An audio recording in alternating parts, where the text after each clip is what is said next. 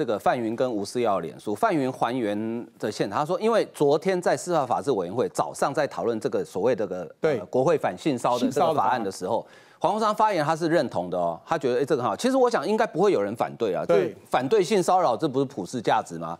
所以范云主观意识就认为说，那今天投票黄国昌应该会支持这个案子进复二读。所以当黄国昌他们不举呃不举手的时候，范云才跑去问他说：“你为什么不支持？”好，黄国昌就突然就那个咆哮。我们刚刚看到，事后吴思瑶他也觉得很纳闷，所以跑去找民众党，民众党有四位女性的立法委员嘛，嗯，他去跟这四位女性立法委员去说明说，今天早上这个案子是怎么回事，你们为什么不支持？就那四位女性立法委员恍然大悟，哈。原来早上是这个案子哦，也就是说有人没有把真相告诉他们。不过伟航说黄国昌是怎样？你刚刚看有必要这样咆哮吗？他是他是不是 EQ 还是说什么有什么？控情绪控管的问题啊。好，那这个在我们讨论他的情绪之前哈，已经有人把他的玩具做出来了哈。那这个其实并不是单一款啊，这个是尖叫鸡嘛，有人做成黄国昌的形象。我甚至看到今天还有一些文创业者，然后那个三 D 建模都建出来了 啊，他这鬼吼鬼叫的印象深入人心。然而。他到底在鬼吼鬼叫什么？嗯，我们注意哦，二月的时候 他鬼吼鬼叫什么？开会啊！对啊，你们都来给我开会。嗯，为什么不开会？我们有那么多东西要讨论，赶快给我来开会。结果刚才赖委员有提到，他在那边举散会动议，举了好几次哦。哎，他讲说要开会也是你在讲，说要散会也是你在散会。好，之前他都说啊，我们前面就不要讲那么多，进委员会讨论。对。啊，那后来有进委员会有讨论吗？没有，急着送走，嗯，急着送到二读去。最近啊，大家前几天在讨论程序委员会档案子，国民党没水准就算了，你白银的林国成一样没水准，你小党的呢，配合大党党少数党的案子，脑子在哪里？林国成如果没有脑子，请问总召的脑子在这里吗？啊，所以我必须要说哈。黄国昌他鬼吼鬼叫，为什么会被讲是鬼吼鬼叫？不是我在污蔑他，是他让他的大声变得毫无意义，前后矛盾嘛。啊，你现在到底要不要开会？要开不开？要不要讨论？怎么讨论？你前一天跟范云说哦这个可以，后一天啊我是要签你哦。哎不对啊，你不是说跟人家说这个案子可以吗？对啊，那你中文是不是出问题了哈？所以啊，当然这么爆一个小料好了。啊！我大家看到我挂时代力量会，我就讲一个时代力量的时代就是。那个时候我有访问过范云，访问很久以前了。访问完之后，黄国昌我说：“哎，听说范云是不是要去民进党当不分区啊？”嗯，我说没有啊，访问的时候没有问出来，那个很久以前了吧？啊，这个他说：“哦，是吗？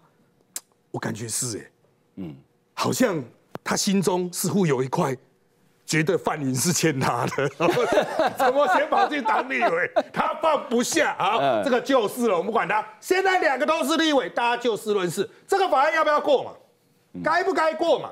该不该支持嘛？你总召今天在那边举牌子，在那边告诉大家说，我这一票赞成，这一票反对，这票不投票。你就要扛责啊！对，不是说我欠你，你欠我，你欠的是中华民国人民呐。嗯，这个不是为了范云定这个法。嗯，虽然他的起心动念是因为他个人的案子，但他是为了整个立院的行为嘛。嗯嗯。啊，行为的行使嘛。所以啊，基本上啊，黄国昌现在哈，他的整个体的操作就只有一个核心意念，就是跟着傅昆奇的屁股。嗯，傅昆奇屁股怎么摇？黄国昌就跟着怎么走，嗯，那当然啦，他这个玩法成就是谁？想也知道是要成就他自己，因为他要选西北市长嘛，嗯嗯，他就可以跟国民党靠比较近。可是谁会被葬送？其他那七个啊，对啊，今天在现场，大家刚刚看到画面嘛，其他七个委员都哎很慌张，哎不要不要不要不要吵，为什么突然吵？其他委员也不知道你在演什么，嗯，你有没有跟大家沟通？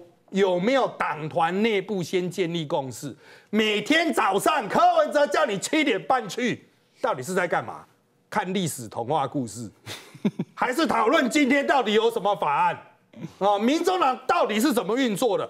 黄国昌他把民众党党团搞成这个样子，这个业力爆发，迟早会显现出来。那我我我补充一下了哈，其实早上为什么今天大家会那么气愤也是这样，其实就是五十一比五十三就开始又回到蓝绿对决，就差两票而已但对，就差两票。但是这八位民众党照理说性平性骚应该是大家都可以支持的方案，那一不高兴也许就是观众朋友可能。不知道哈，绿色是绿色同意，同意，对，红红色是反对，灰色就是弃权。对，灰色弃权连他连那个灰色连出席都没出席，对他连按都没有按，所以你看全部。那你看刚刚提到几个林义君到曼玉珍到黄珊珊，甚至到这个陈昭之，都是女性，我不认为他们会反对。其他的几位我也不认为他们会反对。那为什么这件事情你不让他进到呃副委的时候，就是进到二读的时候一起讨论在国会啊？我相信这个东西应该也会纳进去。为什么不要呢？哦，所以说。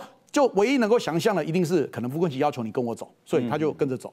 哦，所以我觉得这个是让大家非常的压抑的。那我觉得他情绪管理确实也出了很大的问题了哈。我在讲不是今天只对范宇，其实范宇也只是旁边质疑说为什么你不支持而已对，只是这样讲而已。他就算咆哮说我欠你嘛，很大声，非常大声，大家全部有点吓一跳，怎么那么大声？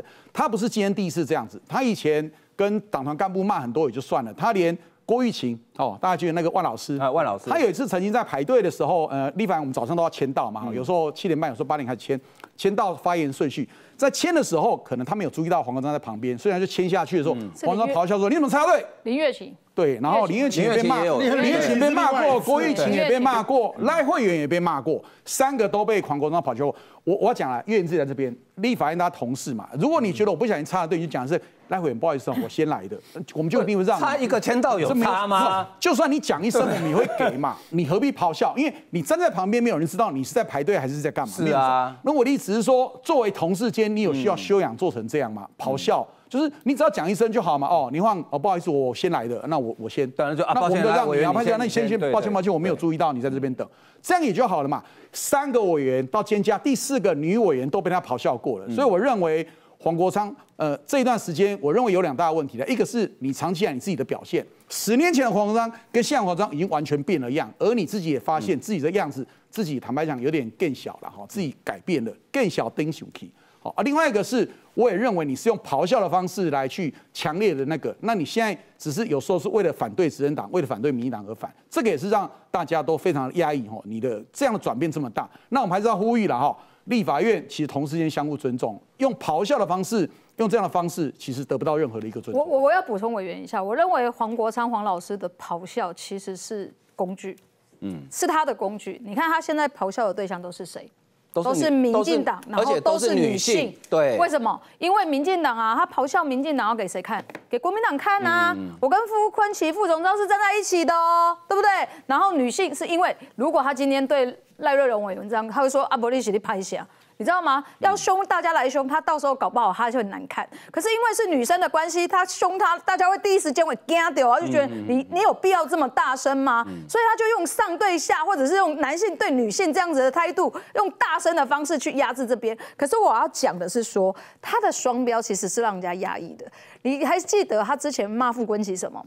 骂傅昆萁说他内线交易判得太轻嘛，对不对？对。可是他现在可以跟他大哥喝来喝去，他要先走，还可以跟大哥讲说：“我先走啊，谢谢啊，谢谢大哥。”这样子，对不对？